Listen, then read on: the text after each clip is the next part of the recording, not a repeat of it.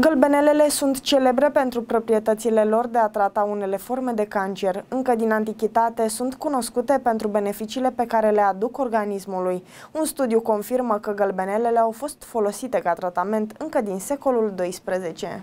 Acestea mai sunt cunoscute în termeni populari ca coconițe, salomie, boace și crăițe. Acestea se găsesc peste tot deoarece nu sunt deloc dificil de cultivat. Le poți zări pe căile ferate, pe lângă garduri și pe marginea drumului. Ele răsar anual din mai până în prima lună de toamnă. Apoi se recoltează între 3 și 5 zile la rând, de la prima raza soarelui până la amurg. După cum am spus și mai sus, florile de gălbenele sunt faimoase pentru proprietățile de sute de ani. Ele nu trebuie să lipsească din casa ta, indiferent că alegi să le folosești pe post de ceai, alifie, infuzie sau tinctură. Acest ceai poate fi utilizat atât intern cât și extern. Intern este benefic pentru ameliorarea sau chiar tratarea crampelor musculare, a gastritei, ulcerului, atât cel duodenal cât și gastric, a bolilor de ficat, hemoroizilor, dar și inflamațiilor de colon. Extern, ceaiul de gălbenele tratează afecțiuni precum degerături, arsuri, acnee, osteoporoze, dar și micoze.